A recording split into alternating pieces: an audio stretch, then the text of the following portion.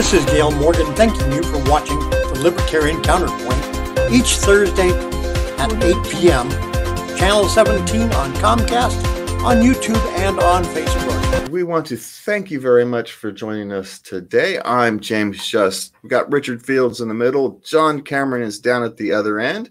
And this is our uh, Thanksgiving show. So we'll give a message of thankfulness at the at the end. But you know, first, I'm not sure there's a lot to be thankful for other than, you know, friends and family at the moment. We're le- learning about the high cost of those lockdowns, not just the economic cost, the human cost. Out of what was it? Suicide deaths out of Ohio, the suicides for are now the leading cause of death for children 10 to 14. We saw a, a couple weeks ago, I think we had a discussion about how the, in Wisconsin, the suicide in a count, the largest county of Wisconsin, the suicide rate has doubled. And now we have word that nursing home neglect deaths have surged 40,000. Nursing, home deaths. Nursing home deaths, not due to COVID, due to neglect or despair. They say 40,000. A new study has come out and said there's 40,000 nursing home deaths, not due to COVID, but due to despair and neglect. Hmm. And these Yeah, are the also costs read we a headline, read a, read a headline in the Bee saying that murder rates uh, in uh, Sacramento are up. Uh, so, you know, it's, uh, it's all over the board. Not to mention starvation deaths in the third world.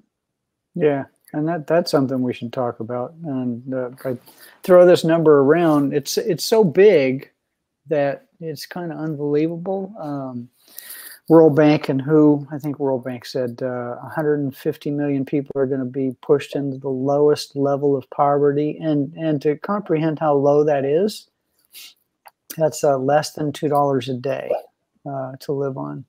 So you know, again, a lot of these people live in agrarian economies, and and you know they're they're almost hunter gatherers. Uh, not really. If there's anything to hunter gatherer, they'd be hunter gatherers. So um, it doesn't take much to you know push you from subsistence level to starvation level in those environments, and uh, to see it happening in in you know wealthy countries where uh, you know the nursing home deaths and and all the unintended consequences which you know pretty soon if if you let unintended consequences go long enough they're now the intended consequence.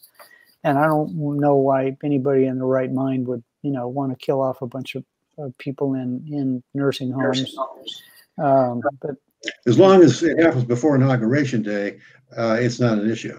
Uh, after inauguration day, I uh, have a, I, I predicted that the, uh, uh, the, the, uh, the vaccine would, would happen shortly after or on election day. I was six days off. It happened six days later. Uh, I also will now predict that the, uh, all of the draconian government shutdowns on the coronavirus will end on inauguration day shortly thereafter. Well, uh, that that stands to reason, and then the uh, the um, whatever kind of bad economy that uh, the new um, print it and ship it to the blue states government uh, blames on Trump will be Trump's fault, and anything that happens on the bounce, even though that's happening now and would would go gangbusters uh, if they would take these controls off. I mean, you know, people, despite a lot of people sitting on no money and you know having to tap their their savings and borrow and run up credit card debt and all the rest of that, there's a lot of people sitting on money. Uh, there's jobs that can that can be done that can't be done because of COVID. There's there's certainly um, pent up desire and the ability to fulfill it. I wish I would have bought. Uh, um, cruise ship stock at the bottom. You know, it's uh, it's about th- three or four times off the bottom right now, but I still think there's an opportunity. So, yeah, it's it's it's crazy times, and the, and the the things that that I think we're going to talk about science behind this thing at some point. Um, did you want to do that now? Yeah, we or- can skip to it. Go ahead. We can skip to it, John. well, what bothers me is that uh, this thing has cost what the U.S. government has thrown. I don't know how many trillions. You got the number handy, Richard? How many I- trillions? Three trillion, five trillion, something. Something like that. Yeah, Yeah. yeah, it depends what number you're looking at, but it just suffices to say that it will uh, triple or quadruple the national debt in, in a matter of months. Yeah, and then um, when Well, you look not, at all not the the national debt, but but it'll it'll vastly increase the national debt. It'll go from 20, 20 some trillion to 30 some trillion in a matter, you know, in a matter of months. Yeah, which is pretty scary. So based on on all of that money being thrown at this thing, and and now we're seeing some some good come out of it. Amazingly, the the horrible, evil pharmaceutical companies are uh, now that they've uh, uh, busted the locks off of them and let them actually do some research and some testing, have come up with with a vaccine that in the past would have taken years to create in in how many months? I don't know, six months, something like that. And well, so, keep in mind that other than Pfizer, they were all getting uh, heavily subsidized as well. well, well, Well, even, They've even been working on COVID strains for a long time, so they didn't start from ground zero. They, Yeah, they had a that's true. base. They had a baseline to start from. Well, anyway, the point I got, I sidetracked myself. And the point I was trying to make is with all that money being spent, we still don't, you know, they're still, they're still wondering whether it's droplet or aerosol. Uh, there's studies out there that indicate that wearing masks is completely useless, and other studies that indicate that it isn't useless. Um, there's, um, um, you know, countries that have had virtually no lockdowns that have done better than countries that have had uh, tremendous lockdowns. There, the the numbers that I've looked at on on curfews, you know, in some places show no good at all. Other places show case show that cases increased, decreased, and increased. So um, the Well, lack. can, can, can- explain to me how a, a curfew has any effect whatsoever. If anything, a curfew should uh, enhance the spread of the virus if it's airborne I- because it's packing more people into small places like uh, grocery stores in a shorter period of time. It's just, it's absolutely insane. The only argument I can make uh, is that, or the only argument I can understand is that uh, with a curfew, bars, which tend to lower inhibitions, will be closed. That's the only thing I can think of that would argue in favor of curfews. And if that's the case, you know, have a curfew on the bars. Uh, you know, let the rest of us go about our business and work night shift. About half an hour ago, I just saw a, a news conference by the World Health Organization that just released another study that shows lockdowns do nothing. They, they studied 160 countries, balanced, every, and there's no difference on on the grand scheme of scheme. Yes, some you got Yeah, the yeah. outliers, but the grand scheme of thing is that you can't tell the difference based upon just the lockdown. It's lockdowns by themselves don't do anything. Yeah, the same thing with masks. The Marines uh, did a study where they took uh, 1,500 or, or so uh, Marines and made them do all of the social distancing and mask wearing and hand washing, follow all of the recommendations. Uh, 1,500 Marines did. Another 1,500 Marines did not, didn't have to do anything. And you know that if they're Marines at Parris Island, they were following orders. They were doing exactly what they were told to do on both sides of the equation. Uh, it turned out that more Marines that were not that were uh, masking up got coronavirus than than uh, the the control group who were not. Uh, likewise, there was a, a study out of uh, Denmark, and, and the Marine study was published in the New England Journal of Medicine. It's not, you know, it's not some uh, conspiracy theory. Uh, the uh, study out of out of Denmark showed essentially the same thing. It showed that masks uh, cannot be shown to protect people. It showed that there might be a statistical, might being the operative word, a statistical correlation between spreading. If people ha- have coronavirus, they spread it less. Uh, uh, less than if they by wearing a mask than not, but but you know only, only to a minor degree. So uh, the science is uh, suggesting that nobody knows, and if anything, none of this stuff is working. Uh, but if you listen to the politicians who are not scientists, say, "I'm following science," they don't, you know, they're they're just throwing science out as a word uh, to intimidate their opposition. That's all it is. Yeah, it Well, I seems to me like they're. Oh, I'm sorry, John, but it seems to me like they're just doing something, so they can be said to be doing something. Hey, look, we're trying, we're doing something. Whether Yeah. that something is good or bad or it doesn't matter because they're doing something. I think Well, I that's think I think we can only assume that the, the government is using secret science, and somehow they found out that the that the that the uh, virus actually sleeps, um, and and it understands time zones throughout the world, and it actually goes to sleep at ten o'clock at night and doesn't wake up again until five o'clock in the morning. But then you'd want to be out while it's sleeping, so. I'm confused. I, I really can't figure out. You know, the the it's. I I I don't want to say this. Yeah, I do. Um, that that um, people. But you're going who- to anyway. Now I'm going to anyway. Uh, maybe even a couple of times in a couple of different ways, just for fun.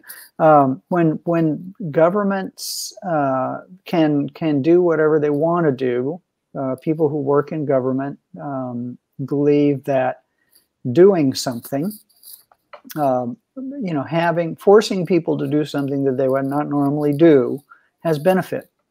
Whereas the three people on this panel and the other three people watching, no, there's more than that, um, are of the mindset that letting people uh, who are generally rational um, take the knowledge in that they get and make their own decisions on how they spend their money and where they choose to go and how they choose to eat and protect their family and all the rest of that stuff has better outcomes.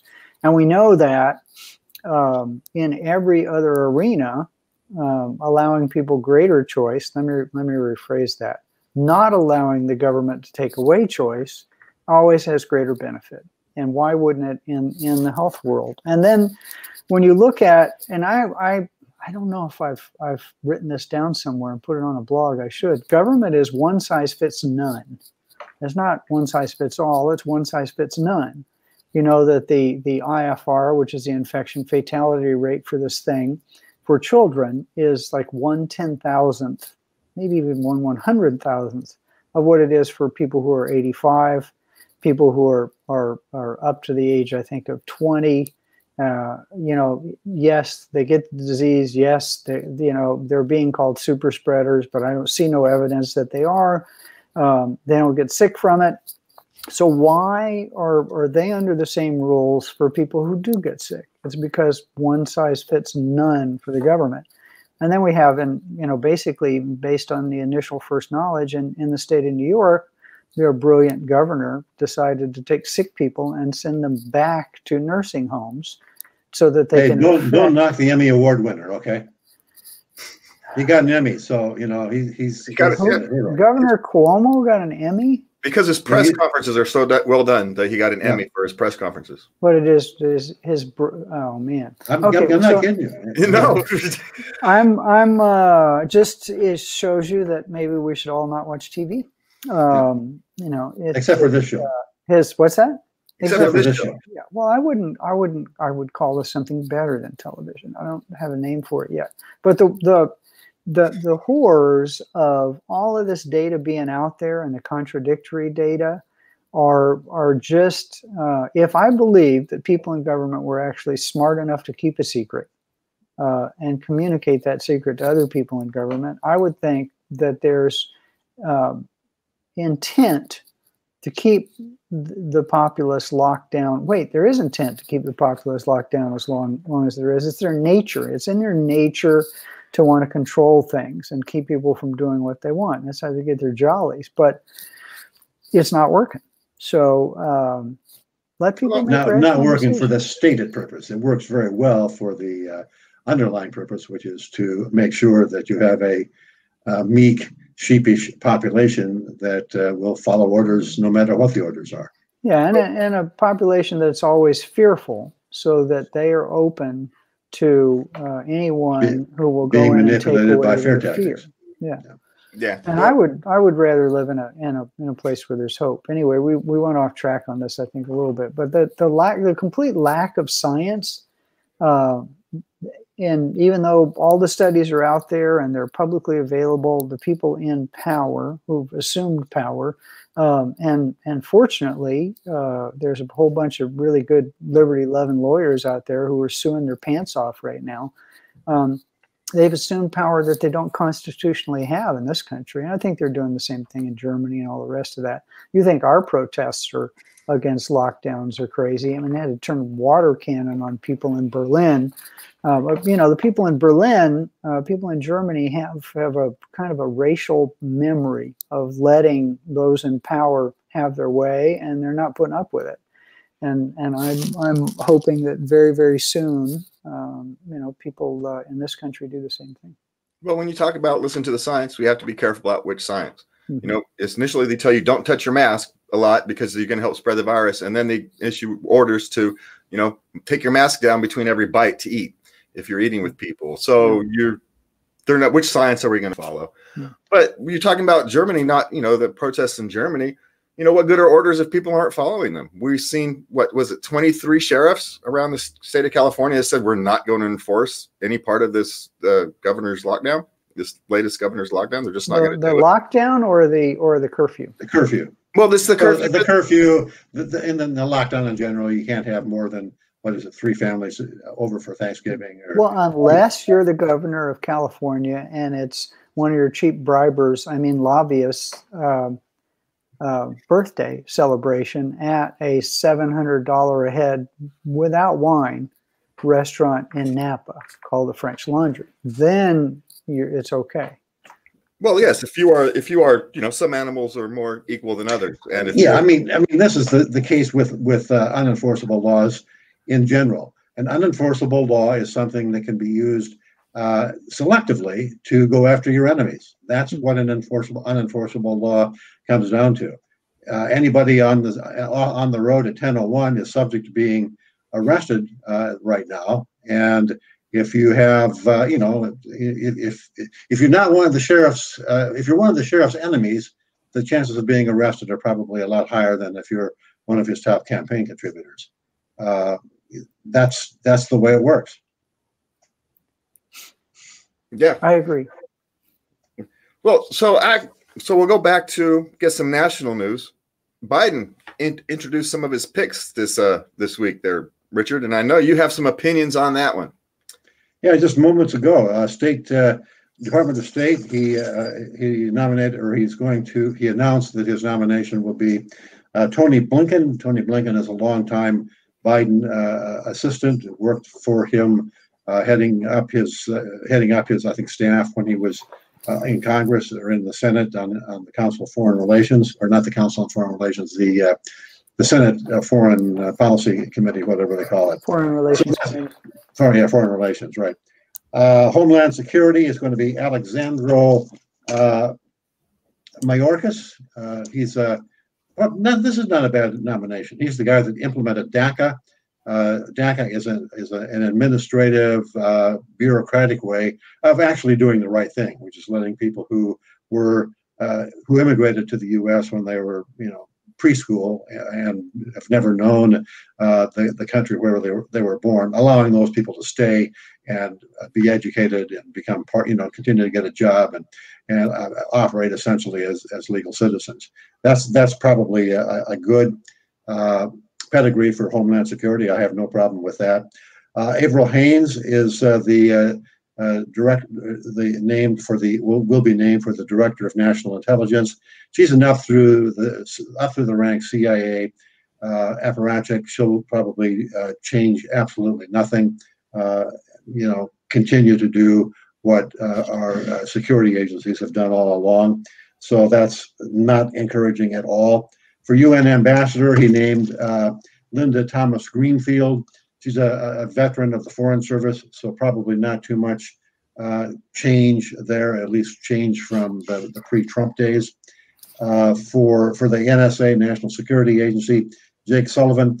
Jake Sullivan is actually was actually his campaign advisor on foreign policy. So uh, it's interesting uh, that uh, all of the people he is naming are, for the most part, uh, Biden loyalists, people who uh, have been longtime cronies of uh, Joe Biden, as opposed to uh, uh, Kamala Harris cronies, and, and, I think that's probably a good thing.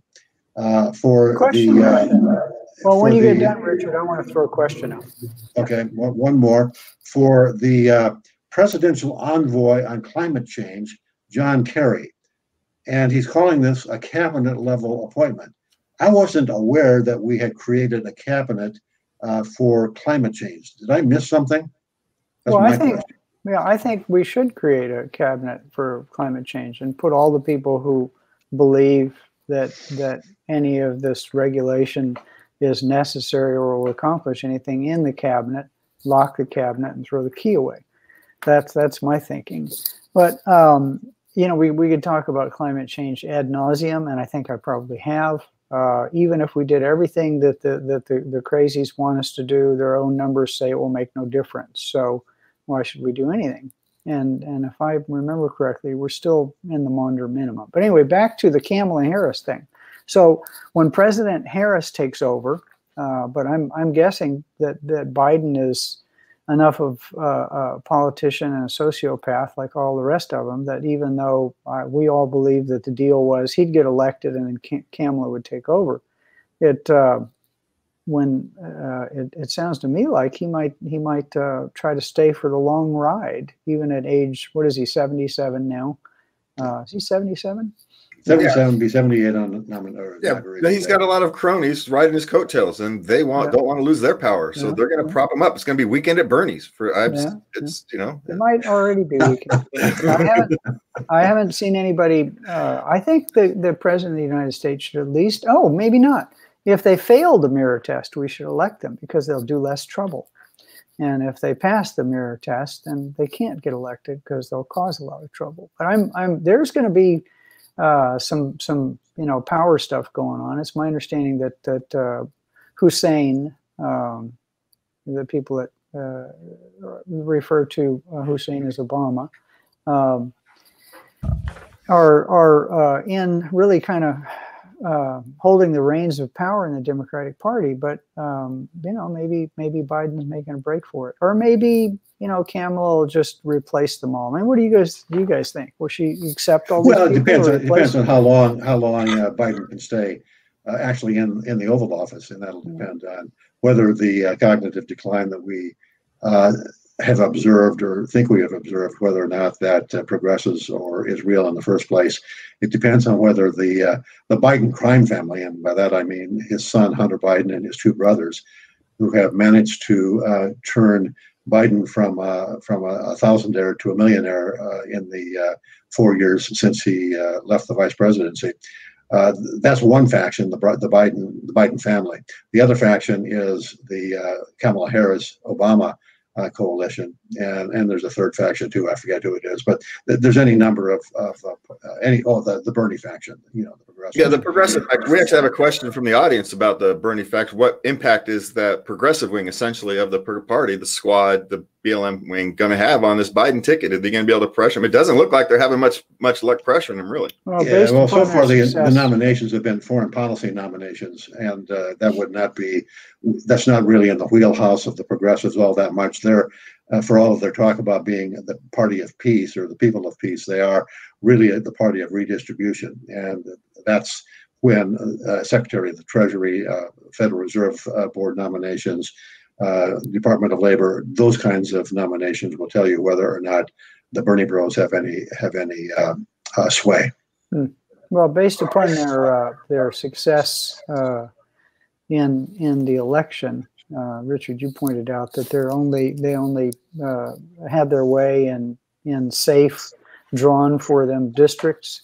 And uh, you know anytime the the hardcore progressives which i hate to call progressives because it's regressive basically it's you know government like kings used to have uh, ordering people to do things and redistributing wealth. Um, didn't do so well and i don't think it played very well at all and even even the new york times has has said that uh, the, uh, the the democratic party needs to look at its its mission statement and maybe pick more popular causes. So, um, um, you know, for the New York Times to say there's a problem, but that, you know, that kind of brings up something else. They're interviewing these people.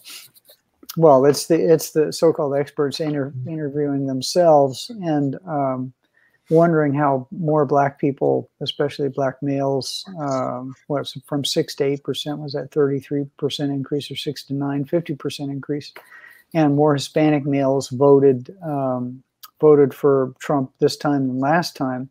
And I think they're they're losing sight of the fact that that even though the guy's a clown uh, and and a kind of a mean natured person at heart, I think you know at least if you're going to be president, you should be nice. Um, did some things that directly benefited uh, Hispanics and and blacks that the uh, lamestream media, which controls all the messages we hear won't take into account. And that's, um, you know, uh, reducing regulation uh, and uh, cutting down on, on the barriers to starting and running a business. uh, and um, those are the things that directly affect the people in the lowest rungs of the economy.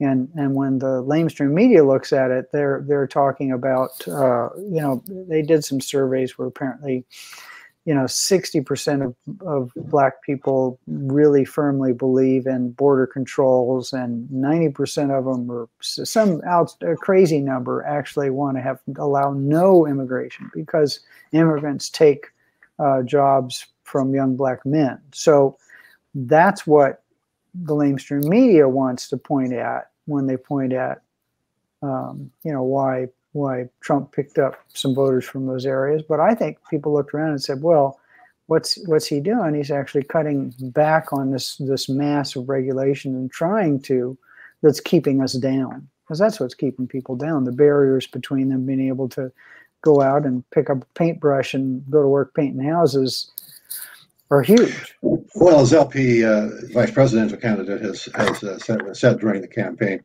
uh, when you actually talk to people in inner city neighborhoods, black, Hispanic, or whatever, uh, their biggest complaint is, "Hey, I can't. Uh, I've got a side gig that I, I have side to keep." Hustle, yeah. Side, yeah, side hustle that I have to keep hidden in order to to do because uh, of all of the regulatory licensing, uh, occupational permit requirements that uh, government puts in my way, and so the yeah, I think uh, point well taken that the uh, the pullback or the uh, lessening of regulatory regulatory fervor under the Trump administration has worked in the favor of minorities. Um, and it's interesting to see. We've got a minute left, and I want to make a chance. We're airing this on Thanksgiving, and I wanted to make sure we get an opportunity to thank everybody. I wanted to thank you guys, Richard, John, the whole Counterpoint team, Gail, Tony, everybody who's worked on Counterpoint in the last 30 years to give me this opportunity to come out That's here. That's a long list. Man. And yes, it is. And I don't know it. So it's a, I want to thank everybody to give have given me this opportunity in this last year to be able to do this. It gave me a lot of training that helped me on my campaign and and has helped me on personally and going off and doing other adventures. And so, you know, I want to make sure I thank you guys, the Counterpoint team, Access Sacramento, our viewers, you know, the people of Sacramento and around the country who have, quite frankly, been supportive of this this journey. Yeah, and I'd like to thank everybody that shares this on uh, YouTube, shares it on Facebook, shares it on uh, Twitter, uh, shares it on LinkedIn, uh, and uh, and comments uh, favorably from time to time. I'd like to thank everybody that that watches and refers the program to a friend. We really appreciate the opportunity to have this 30 year legacy. And I want to as the show ends, want to just say thank you to the one of the few rights we have left, which is the ability to express our hardcore libertarian leaning libertarian opinions without the Gestapo kicking the door in. And you'll know that you'll know that that right has gone away when this show somehow or another disappears. And with that, we have got to go. Thank you all for watching. You can visit us at libertariancounterpoint.com. Have a wonderful holidays and Please remember to love everybody. This is Gale Morgan thanking you for watching the Libertarian Counterpoint each Thursday at 8 p.m. Channel 17 on Comcast, on YouTube, and on Facebook.